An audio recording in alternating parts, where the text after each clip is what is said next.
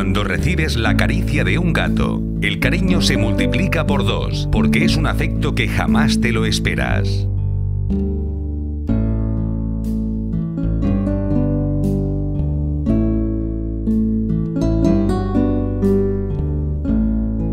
Eso mismo ocurre con los escritos de Daniel Wee, que se acurrucan a tu lado para darte esas buenas noches cuando has tenido un mal día.